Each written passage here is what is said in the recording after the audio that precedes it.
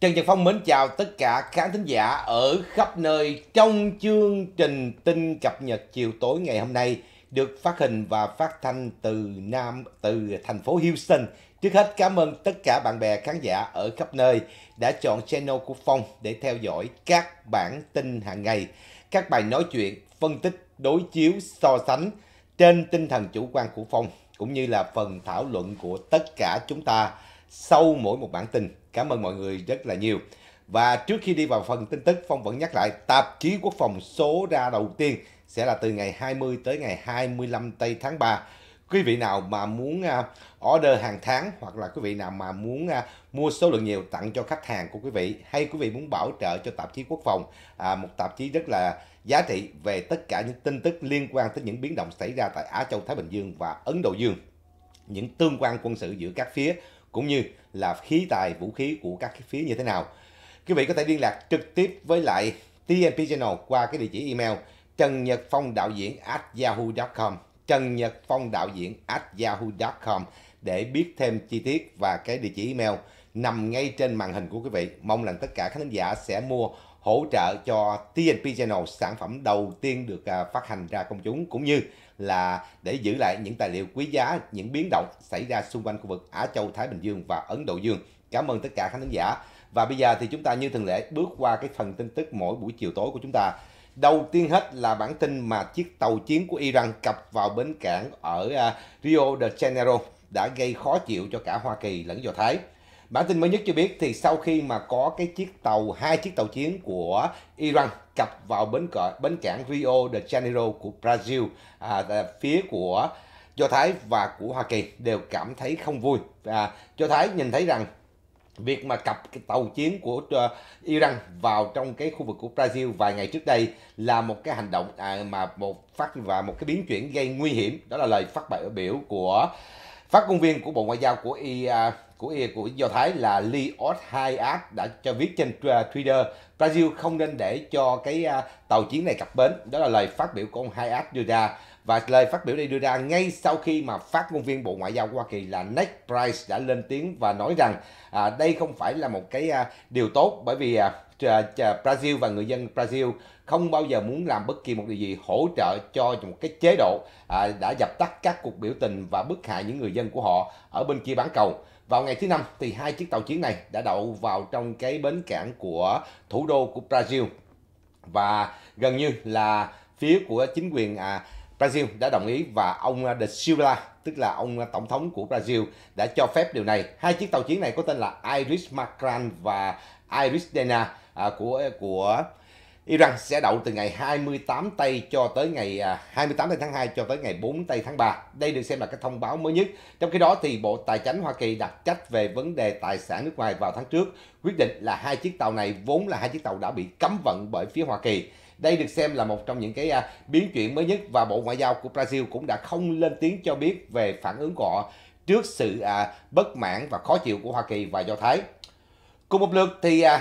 cơ quan đặc trách về nguyên tử và hạt nhân của Liên Hợp Quốc đã tiến tới Iran để có các cuộc đối thoại cao cấp hơn. Bản tin từ Berlin cho biết là cơ quan giám sát về nguyên tử và hạt nhân của Liên Hợp Quốc trong ngày thứ Năm nói rằng họ sẽ trực tiếp bay tới Iran cho các cuộc đối thoại cao cấp về à, theo lời mời của chính quyền Iran. Loan báo này đã được đưa ra bởi à, cơ quan IAEA à, sau khi mà họ báo cáo rằng phía Iran đã làm giàu chất uranium lên tới 83.7%, một con số mà có thể tiến tới gần một cái trái bom nguyên tử. IAEA đã tweet nói rằng tổng giám đốc điều hành của cái uh, tổ chức này là Rafael Mariano Grossi à, sẽ có một cuộc họp báo à, sau khi mà ông quay trở về à, từ Iran tới Áo vào ngày thứ Bảy và trong đó thì à, cơ quan IAEA cho biết họ sẽ nói chuyện về tình trạng mà Iran đã làm giàu chất uranium tới cái mức được xem là nguy hiểm và trong đó có thể chế tạo bom nguyên tử. IAEA trước đó đã báo cáo về tình trạng là phía của Iran đã bắt đầu xây dựng kho chứa chất phóng xạ lên tới 60% và việc à, làm giàu chất uranium này có thể sẽ gia tăng rất là nhanh trong thời gian tới. Trong khi đó thì phía Hoa Kỳ nói rằng Iran đã có khả năng chế tạo một trái bom nguyên tử hoặc hạt nhân trong vòng 12 ngày. Đây được xem là một trong những cái à, báo cáo mới nhất và phía IAEA sẽ có mặt tại Iran và sẽ quay trở về Viên Áo Quốc vào ngày thứ Bảy. Đó là bản tin liên quan tới tình hình quốc tế ngày hôm nay. Cùng một lượt thì phía Hoa Kỳ nói rằng lực lượng hải quân của họ đã giúp cho Anh tịch thu được những chiếc uh, hỏa tiễn chống tăng từ phía của Iran. Lực lượng hải quân Hoa Kỳ đã cùng tham gia chung với lại lực lượng hải quân của Anh để tịch thu một loạt các cái hỏa tiễn chống tăng và các loại à, vật dụng cho hỏa tiễn từ một chiếc tàu được biết là đến là, là đến, di chuyển từ Iran. Việc tham gia chung này bao gồm việc Hoa Kỳ đã cung cấp tất cả những cái à, tình báo ở trên không và hệ thống giám sát cũng như là trinh sát cơ của họ để mà định hướng cho các chiếc tàu hải quân của Hoàng gia Anh Quốc có thể tiếp cận chiếc tàu này trên vùng vịnh Oman và nó diễn ra vào ngày 23 tây tháng 2 à, theo tường trình của Trung tâm Chỉ huy Hải quân của Hoa Kỳ loan báo vào ngày thứ Năm. Sự phối hợp trong nỗ lực giữa Hoa Kỳ và Anh Quốc trong việc mà tuần tra hàng hải đã dẫn tới việc mà chiếc tàu kinh hạm của Hải quân Anh là chiếc HMS Lancaster đã chặn được một chiếc tàu có chở theo tất cả những cái hỏa tiễn chống tăng và những cái à, phụ tùng cho hỏa tiễn từ một chiếc tàu nhỏ mà nó có nguyên thủy là xuất phát từ Iran. Đó là một trong những bản báo cáo mới nhất của Bộ Chỉ huy Hải quân của Hoa Kỳ ở tại khu vực này cho biết và phía lực lượng của Anh đã phát hiện ra những cái thùng và trong đó gần như là có các loại hỏa tiễn của Nga chế tạo gọi là 9M133 uh, à, Connect Anti-Tank, uh, à, Anti-Tank tức là những cái chiếc uh, uh, hỏa tiễn gọi là Connect 19M133 của Nga sản xuất. Và đây được xem và là một những cái những cái hao tiễn mà phía Iran gọi là The Lavi. Và được xem là có mức bắn trung bình và cùng với một số những phụ tùng khác dành cho những cái hỏa tiễn này. Cuộc tịch thu này đã diễn ra giữa lúc mà Hoa Kỳ đang gia tăng rất nhiều những sự giám sát trên mặt biển ở vùng biển Ả Rập. Và dưới cái nghị quyết của Hội đồng Bảo an Liên Quốc và luật quốc tế thì à, sẽ là bất hợp pháp khi mà cung cấp, bán hay chuyển vũ khí cho nhóm Hồi giáo Houthi trong cuộc chiến tại Yemen, nơi được xem là cái quốc gia Ả Rập nghèo đói nhất ở Trung Đông, theo tường trình cho biết. Và Phó Đại đốc Brad Cooper, chỉ huy trưởng của lực lượng hải quân Hoa Kỳ đặc trách về à, đệ ngũ hạm đội ở tại đây cho biết rằng việc bắt giữ à, đây là lần thứ bảy họ đã bắt giữ được những cái vũ khí bất hợp pháp trong vòng 3 tháng qua và đây là thí dụ điển hình cho thấy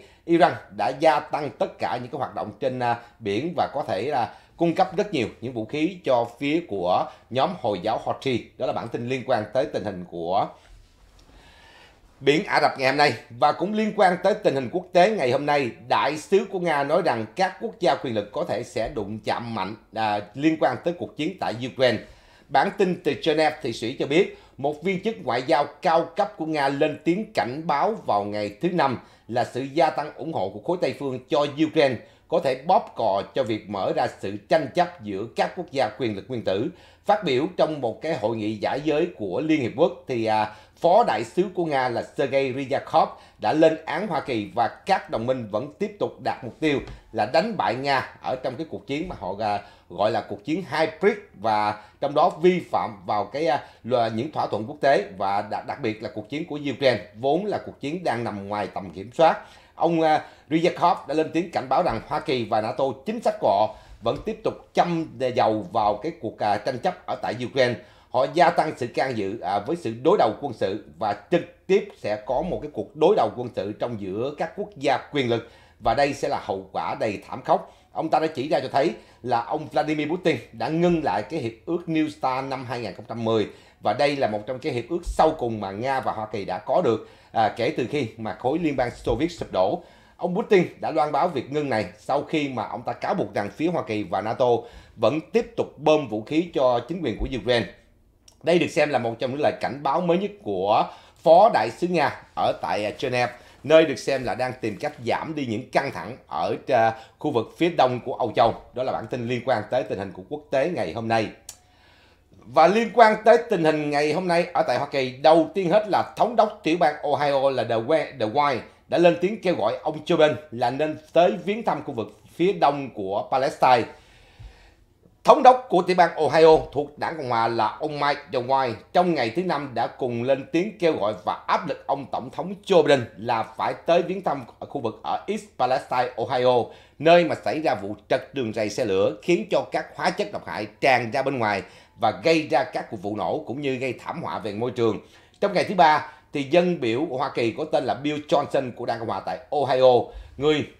mà phụ trách cái khu vực của East Palestine nói rằng ông Tổng thống Joe Biden đã vẫn tiếp tục giữ im lặng về cái thảm họa này và vẫn để cho các cư dân ở đây sống trong sự sợ hãi về tình trạng nước và bầu không khí có thể sẽ bị ảnh hưởng và việc này có thể sẽ kéo dài nhiều năm giữa lúc mà cuộc à, gọi là lật xe lửa này đã tạo ra những cái cột khói giống như là những cột nấm và gây ra tình trạng mà độc hại lan ở khắp nơi và chỉ có những viên chức của chính quyền cho bên viếng thăm nơi này bao gồm luôn cả lãnh đạo của cơ quan bảo vệ môi trường tức là EPA là Michael Regan cùng với lại Bộ trưởng Giao thông vận tải là ông Pete Buttigieg. Tuy nhiên, ông à, tổng thống à, trong thời gian qua ông đã có những cái à, ông à, nói rằng là à, đây là thời gian tốt cho ông để tới viếng thăm East Palestine và cho thấy rằng 5.000 người dân Hoa Kỳ tại đây đang cần sự hỗ trợ của ông. Đó là lời phát biểu của ông Johnson đã đưa ra trong cuộc họp báo. Ông Đầu White cũng đã tái nhắc lại cái cái việc này trên đài truyền hình Fox. Tổng thống cần phải tới đây, người dân muốn nhìn thấy tổng thống tại chỗ này.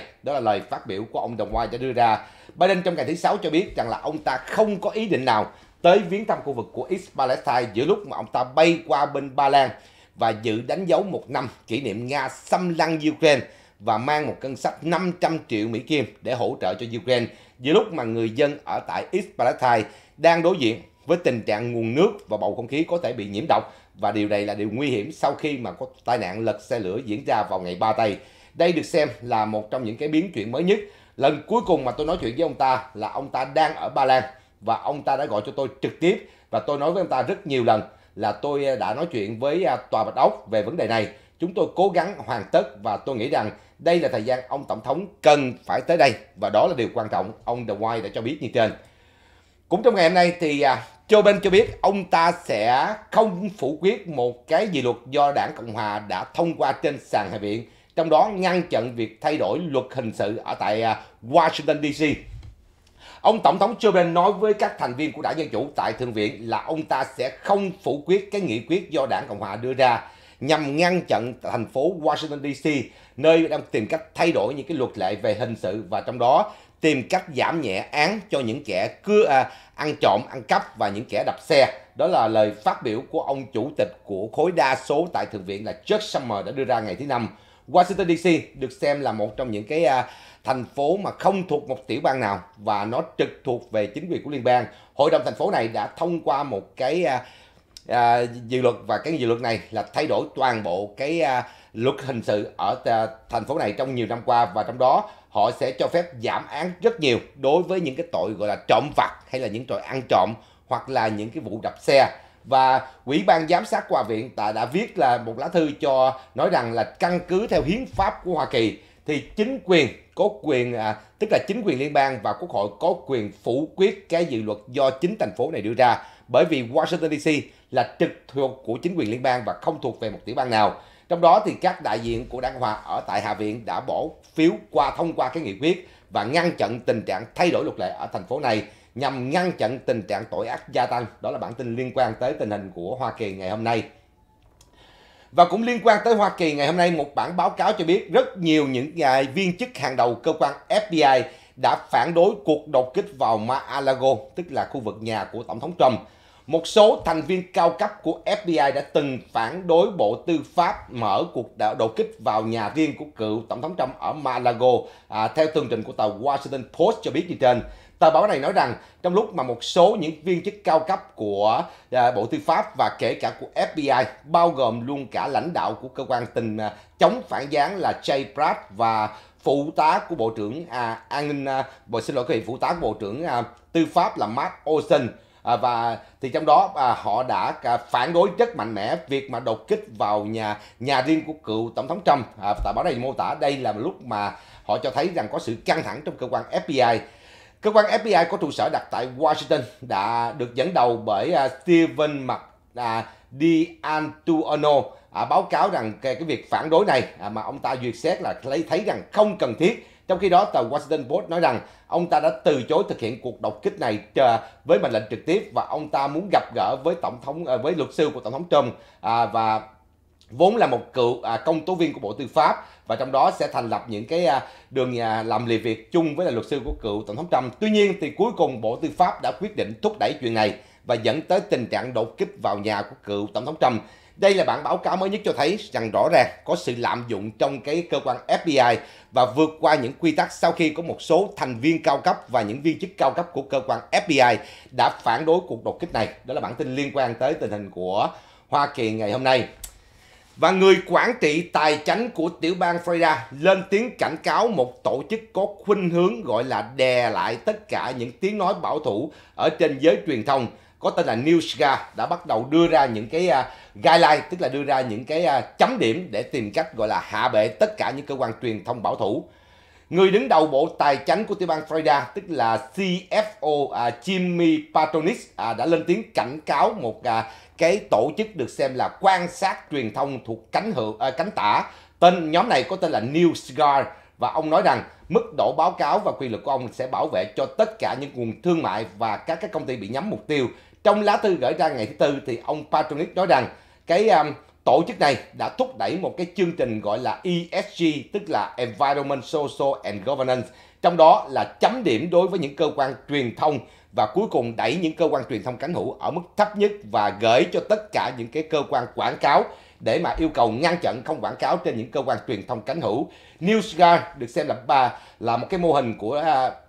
à, cái à, GDI, GDI tức là Global à, Disinformation Index, một cái tổ chức do George Soros lập ra tại Anh nhằm mục đích là tấn công những cơ quan truyền, truyền thông cánh hữu về mặt quảng cáo, tức là ngăn chặn quảng cáo. Và NewsGuard này cũng tương tự như vậy. Họ sắp điểm à, tất cả những cái cơ quan truyền thông và trong đó họ tự mô tả mình là một trong những cái tổ chức non-profit. Tuy nhiên, họ được sáng lập vào năm 2018 bởi nhân vật có tên là uh, Steve Brill. À, nhân vật này được làm trong ngành à, media, ngành truyền thông khá lâu và nhân vật này được xem là một nhân vật ủng hộ mạnh mẽ cho đảng Dân Chủ, bao gồm luôn rất nhiều lần ông ta đã quyên góp tiền bạc cho ông cựu tổng thống Barack Obama và Bill Clinton cũng như là thượng nghị sĩ Chuck Summer và Trung tâm có tên gọi là Media Research Center đã đưa ra thí dụ điển hình là NewsScore đã cố tình chấm điểm các cơ quan truyền thông à, được xem là à, cánh hữu ở mức thấp để mà khuyến khích các cái công ty quảng cáo không quảng cáo và trong đó đưa những cơ quan truyền thông cánh tả lên điểm cao ví dụ như là những cơ quan truyền thông mà thuộc dạng à, gọi là left wing tức là cánh tả thì được chấm lên tới 93 điểm trong cái mức điểm từ 1 tới 100 trong khi những cái cơ quan truyền thông cánh hữu bị đẩy xuống dưới mức 66%. Đây được xem là một trong những cái trò mới nhất của lực lượng cánh tả, muốn lập ra những cái tổ chức độc lập nhằm chấm điểm các cơ quan truyền thông và sử dụng đó là một thước đo cho tất cả những cái công ty quảng cáo nhằm cắt bỏ quảng cáo của những cơ quan truyền thông cánh hữu. Và vị CFO của tiểu bang Florida lên tiếng và khẳng định rằng ông sẽ không để cho chuyện này xảy ra tại tiểu bang Florida và ông sẽ chấm dứt và không để cho các công ty quảng cáo dựa trên cái tiêu chuẩn của cái à, nhóm gọi là News Guy này. Đây được xem là một trong những cái à, tin mới nhất liên quan tới tình hình của Hoa Kỳ ngày hôm nay. Và AOC tức là Alexander Ocasio-Cortez, cô dân biểu của tiểu bang New York có thể đã vi phạm vào tiêu chuẩn đạo đức theo tường trình của Ủy ban đạo đức của Hoa Kỳ cho biết. Nữ dân biểu Alexandria Ocasio-Cortez có thể đã vi phạm vào luật đạo đức và tiêu chuẩn đạo đức khi mà cô ta xuất hiện trong cái à, lễ hội gọi là Met Gala năm 2021. Cô này lúc đó đã tham gia vào trong cái buổi uh, tiệc và cái uh, dạ hội này với chiếc áo là Tax the Rich, tức là đánh thuế người giàu và điều này ờ, có thể là chỉ ra cho thấy là cô ta đã vi phạm về cái lối phân biệt đối xử đối với lại à, người dân Hoa Kỳ và vi phạm vào cái tiêu chuẩn đạo đức của Quốc hội và Ủy ban ta đặt trách về à, đạo đức của Quốc hội đã đưa ra. Căn cứ trên những gì mà chúng tôi có được và chúng tôi thấy được, rõ ràng đã có lý do là nữ dân biểu Ocasio-Cortez đã chấp nhận à, cái món quà là hai cái vé mời cô ta tới tham dự cái lễ hội à, dạ tiệc của Mel Gala năm 2021 và điều này cũng đã vi phạm vào tiêu chuẩn đạo đức của Ủy ban đạo đức tại Hạ viện. Đồng thời thì cô này đã xuất hiện cùng với một cái chiếc áo mà cô ta mặc là tax the rich tức là đánh thuế những người giàu. Và ngôn ngữ này rõ ràng là một cái ngôn ngữ được xem là đã có hành động phân biệt đối xử một phía ở tại Hoa Kỳ một điều mà không thể chấp nhận được ở tại Hoa Kỳ. Đây được xem là một trong những cái à, Kết luận của Ủy ban đặc trách về đạo đức ở Hạ viện và chủ tịch của Ủy ban này là dân biểu Michael Guest thuộc đảng Cộng hòa tại Missouri đã loan báo là sẽ điều tra tất cả những cái à, thư mời của cô này đã nhận được trong thời gian cô ta làm dân biểu của Quốc hội, đặc biệt là những cái tổ chức đã mời cô ta với những tấm vé được xem là rất mắc mỏ và người ta người thường không thể mua được những tấm vé này. Đây được xem là một trong những cái uh, hoạt động mà bà này có thể sẽ dính vào tình trạng vi phạm tiêu chuẩn đạo đức. Trong đó thì à, nhóm gọi là Black Lives Matter Cracker ở New York à, đã bắt đầu có những cái liên kết đối với những dân biểu này để có thể tạo ảnh hưởng ở tại thành phố New York. Đó là bản tin liên quan tới tình hình của Hoa Kỳ ngày hôm nay. Và cũng liên quan tới Hoa Kỳ ngày hôm nay, các nhà lập pháp đã bắt đầu dám chặt sát chặt tất cả những giới truyền thông ngoại quốc là hoạt động tại điện Capitol Hill. Bản tin mới nhất cho biết thì dân biểu Jack Bergman của đảng Cộng hòa tại Michigan đã lên tiếng giới thiệu à, với à, à, thúc giục phía quốc hội là phải giới hạn các cái à, công ty truyền thông mà do nhà nước ngoại quốc bảo trợ có thể làm việc ở điện Capitol trong sự lo ngại là họ có thể sẽ thực hiện cái chương trình gọi là hoạt động gián điệp và đứng về phía kẻ thù của Hoa Kỳ. Nghị quyết được giới thiệu vào ngày 1 tây, ông Bergman cho biết ông muốn mong muốn rằng yêu cầu tất cả những cái cơ quan truyền thông mà do những quốc gia à, chính quyền các quốc gia bảo trợ là không thể làm việc ở trong cái sàn hạ viện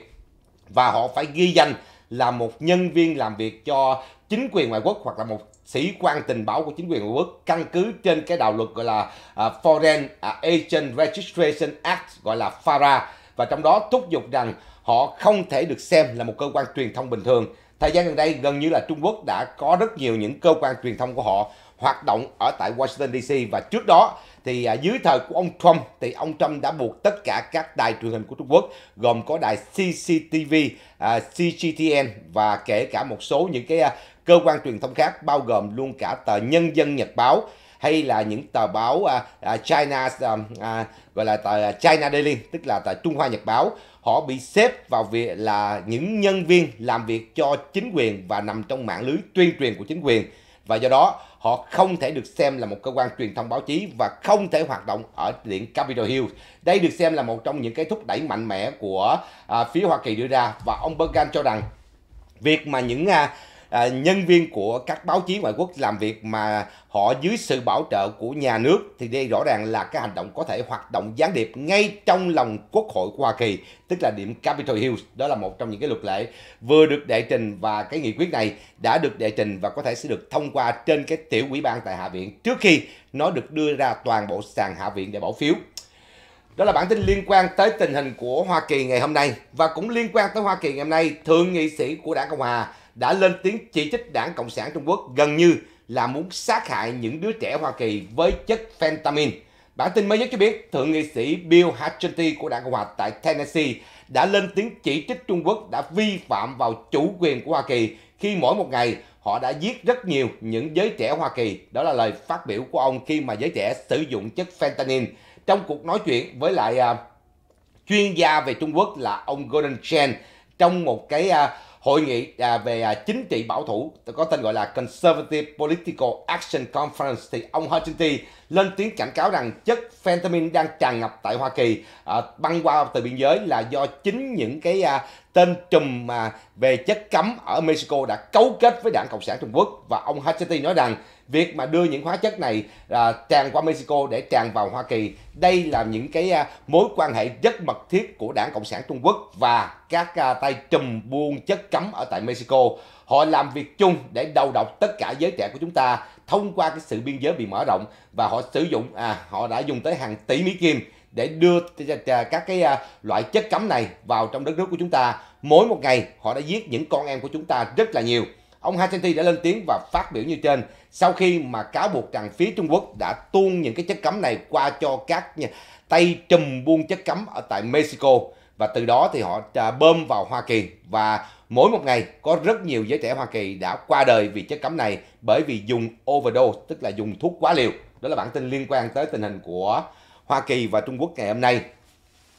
Và liên quan tới Hoa Kỳ và Trung Quốc ngày hôm nay, Trung Quốc đã gia tăng sự bức hại và đó là thách thức trải qua nhiều thế hệ ở Hoa Kỳ. Đó là lời khẳng định của ông à, Bộ trưởng Quốc phòng là ông à, Lloyd Austin đã đưa ra trong lúc mà ông gặp gỡ với các lực lượng vũ trang của Hoa Kỳ. Bản tin mới nhất cho biết lực lượng quân sự Hoa Kỳ cần phải chuẩn bị sự đối đầu với Trung Quốc và cùng một lượt cùng phải chuẩn bị để mà đảng Cộng sản Trung Quốc có thể sẽ tìm cách thay đổi luật lệ quốc tế à, với cái hình ảnh riêng của họ đó là một bản ghi nhớ mà ông Bộ trưởng Quốc phòng của Hoa Kỳ đã gửi cho tất cả các binh sĩ của Hoa Kỳ thuộc giới quân sự. Ông à, Lloyd Austin nói rằng đảng Cộng sản Trung Quốc đang tìm cách gọi là à, thay đổi tất cả những cái à, luật lệ của quốc tế và thay vào đó là chế độ độc tài toàn trị của họ. Và điều này cần phải được chấm dứt. Việc gia tăng bức hại của Trung Quốc à, với một cái sự bé nhọn trong cái luật lệ quốc tế và các cái trật tự quốc tế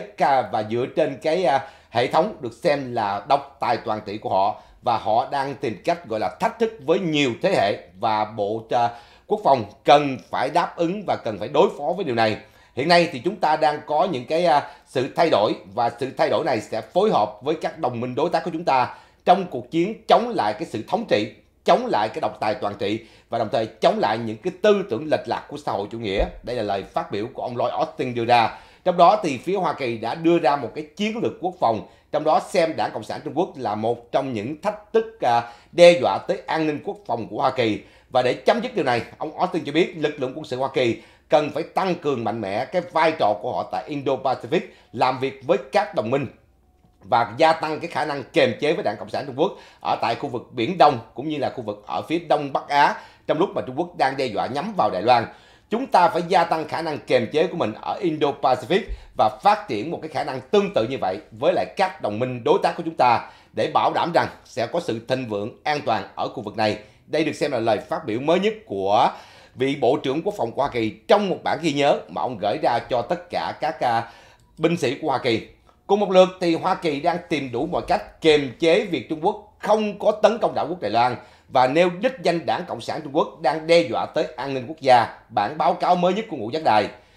Một trong những cái à, lực lượng chỉ huy về chiến lược Indo-Pacific của Hoa Kỳ đã đưa ra một bản báo cáo trong hai năm qua và nêu đích danh Cộng sản Trung Quốc đã có những cái à, đe dọa chưa từng có và đa dạng vào cái nền an ninh của Hoa Kỳ. Đồng thời lúc đó à, phía Bộ Giác Đại cho biết họ sẽ tăng cường cái quan hệ về quốc phòng với Philippines, Nhật Bản và các đồng minh khác để tìm cách khẳng định cái quyền tự do hàng hải và đồng thời là ngăn chặn tình trạng Bắc Kinh đang lâm le xâm lấn đảo quốc Đài Loan trong vòng một thập niên tới và điều này không phải dễ dàng. Đó là lời phát biểu của một viên chức của giác đài đưa ra ngày thứ năm. Trong vài tháng qua,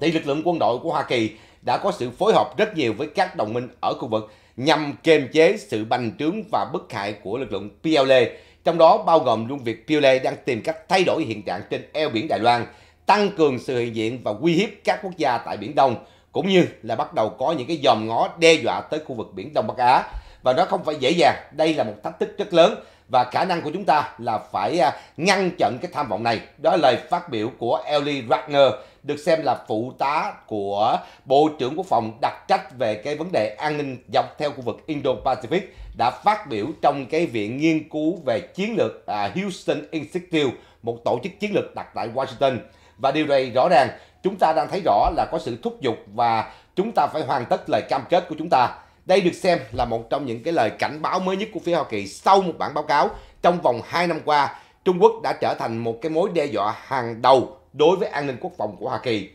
Philippines trong tháng 2 đã bắt đầu mở ra thêm 4 căn cứ quân sự của Hoa Kỳ để đón tiếp quân đội của Hoa Kỳ. Úc, Anh và Hoa Kỳ cũng đã có một cái liên minh 18 tháng trước đây gọi là Liên minh AUKUS. Đồng thời,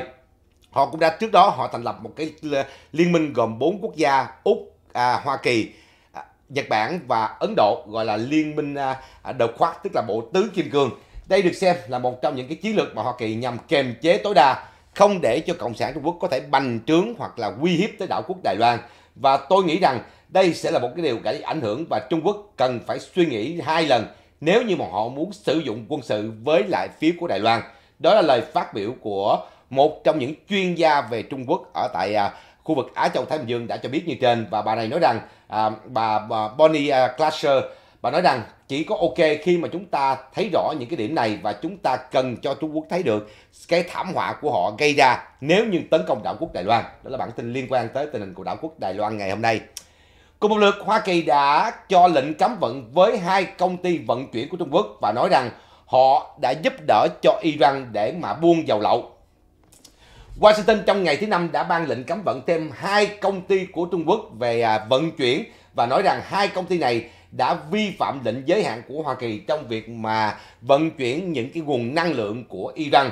Phía Bộ Ngoại giao Hoa Kỳ đã quyết định à hai công ty này có trụ sở đặt tại Trung Quốc. Công ty thứ nhất có tên là Global Marine Ship Management và công ty thứ hai là Shanghai Songrun à, Shipping à, là những công ty đã giúp cho phía của Iran tránh lệnh cấm vận và cáo buộc những công ty này là đã có hành động à, vận chuyển các cái sản phẩm về à, petro tức là những sản phẩm về năng lượng từ phía của Iran. Và công ty ở Hoa Kỳ à,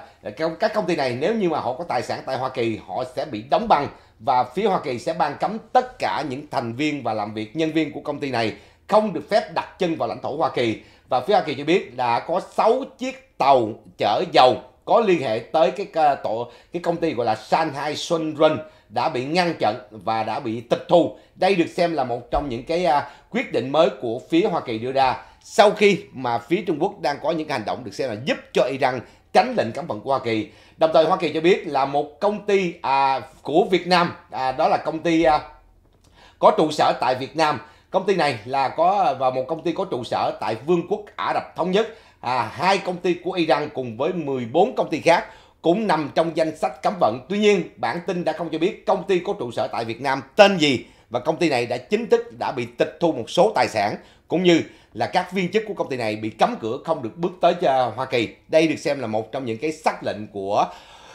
Bộ Ngoại giao của Hoa Kỳ và Bộ Tài chính cũng như Bộ Thương mại của Hoa Kỳ đã phối hợp để ngăn chặn tình trạng mà trốn tránh lệnh cấm vận của Hoa Kỳ. Đó là bản tin liên quan tới tình hình của Hoa Kỳ và Trung Quốc ngày hôm nay. Và một trong những lời phát biểu của bà Gina Raimondo được xem là Bộ trưởng Thương mại Hoa Kỳ cho biết TikTok không phải chỉ là cái công ty do nhà nước Cộng sản Trung Quốc hậu thuẫn mà điều quan trọng nhất là công ty này đang đóng một cái vai trò rất rất lớn cho lực lượng PLA cũng như là cơ quan mật vụ của Trung Quốc. Tòa Bạch Ốc và Quốc hội đang làm việc à, trong vấn đề gọi là tiềm năng nguy hiểm về an ninh quốc gia khi mà trang TikTok đang có một cái khuynh hướng được xem là nguy hiểm cho nền an ninh quốc gia của Hoa Kỳ. Bà Bộ trưởng Thương mại Gina Raimondo đã cho biết như trên. Và vấn đề lo ngại về an ninh quốc gia không phải, phải là chỉ giới hạn TikTok, bà đã cho biết trong cuộc phỏng vấn ngày thứ năm. Và chúng ta lo ngại là tất cả những công ty do nhà nước Cộng sản Trung Quốc hậu thuẫn có tới hàng triệu à, cái phone của người dân Hoa Kỳ bao gồm luôn cả những thành viên trong giới quân đội và kể cả những cái lo ngại về quyền tư ẩn, à, lo ngại về dữ liệu, lo ngại về tình trạng mà tung những tin giả và tin nhiễu. Nó không chỉ đơn giản là đối với công ty TikTok. Bà Raimondo cho biết bà đang duyệt xét một cái chuyến bay tới Trung Quốc trong năm nay. À, một viên chức hàng đầu của chính quyền của Joe Biden đang tìm cách gọi là gia tăng cái việc mà gọi là có một cái chiến lược đối phó về đe dọa kinh tế từ Bắc Kinh. À, cái à, Bộ Thương mại của bà đã cho biết rằng là họ đã kiểm soát chặt chẽ tất cả những cái chip điện tử xà xuất cảng qua Trung Quốc trong năm ngoái và dẫn đầu với tổng số tiền à, mà phía của chính quyền Joe Biden đã hỗ trợ cho ngành semiconductor lên tới 52 tỷ Mỹ Kim và đây là một trong những cái điều then chốt mà theo lời của bà là để ngăn chặn không để cho Trung Quốc có thể à, hoạt động gián điệp hoặc thông qua những cái trang app như video như là TikTok để có thể gây hại an ninh quốc gia. Đó là bản tin liên quan tới tình hình của Hoa Kỳ ngày hôm nay.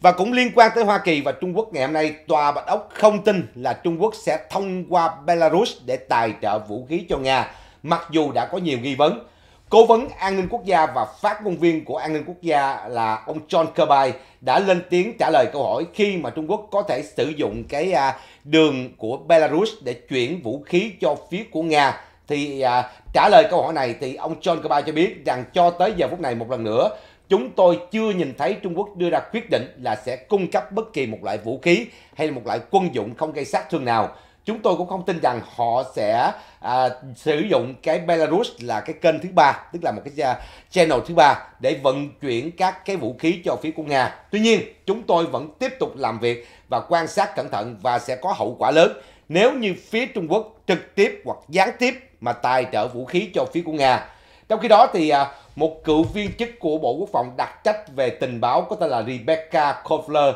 đã nói với đài truyền hình Fox là sự thỏa thuận của ông Tập Cận Bình và ông Lukashenko, người đang viếng thăm Trung Quốc trong thời gian này, à, cho thấy rằng là có thể Trung Quốc sẽ đóng một vai trò cung cấp các ngân quỹ và vũ khí đạn dược cho Nga thông qua sự hỗ trợ của Belarus. Đây được xem là một trong những cái à, phản ứng mới nhất của Tòa Bạch Ốc khi mà ông Lukashenko đang có mặt tại Trung Quốc và gặp gỡ với Tập Cận Bình. Đó là bản tin liên quan tới tình hình của Trung Quốc, của Hoa Kỳ và của Nga. Và cuối cùng cũng liên quan tới Trung Quốc, ông Olaf Scholz, tức là thủ tướng của Đức đã lên tiếng cảnh cáo Trung Quốc là không nên cung cấp bất kỳ một loại vũ khí nào hoặc là quân dụng nào cho phía của Nga. Thủ tướng của Đức là ông Olaf Scholz lên tiếng cảnh cáo Trung Quốc là không nên trang bị vũ khí cho Nga trong cuộc chiến tại Ukraine và ông tỏ ra bất mãn là Bắc Kinh đã không tham gia vào chung với các bộ trưởng khối G20 để lên án cái hành động của à, Nga xâm lăng Ukraine. Trong lời phát biểu ở trên hạ viện của Berlin vào ngày thứ Năm, ông Scholz cho biết là ông rất bất mãn khi mà các bộ trưởng tài chính của khối G20 thì Trung Quốc đã không tham gia vào cái à, lời à, lên án chung về cuộc tấn công của Nga nhắm vào Ukraine, à, đặc biệt đã vốn đã được đồng ý trong cái phiên họp ở Bali vào tháng 11 năm ngoái. Thông điệp của tôi đến Bắc Kinh rất rõ ràng, sử dụng tầm ảnh hưởng của à, của quý vị để mà Moscow chấm dứt và rút quân của họ ra khỏi Ukraine. Và đừng bao giờ cung cấp vũ khí à, cho kẻ bức hại như là Nga. Đây được xem là một trong những lời à, phát biểu mạnh mẽ của ông Thủ tướng Đức đưa ra. Sau khi mà Trung Quốc đã từ chối không tham gia vào cái bản thông cáo chung lên án Nga trong việc xâm lăng Ukraine trong phiên họp của các bộ trưởng ngoại giao ở tại uh, New Delhi, Ấn Độ à, trong khối G20. Đó là bản tin sau cùng liên quan tới phần tin thời sự buổi tối ngày hôm nay. Cảm ơn tất cả các khán giả rất là nhiều cho bản tin này. Phong sẽ trở lại cùng tất cả các khán giả ở khắp nơi trong chương trình kế tiếp của TMP Channel. Xin quý vị và các bạn nhớ đón nghe và theo dõi. Mến chào tất cả các khán giả và chúng ta sẽ gặp lại sau. Bye bye.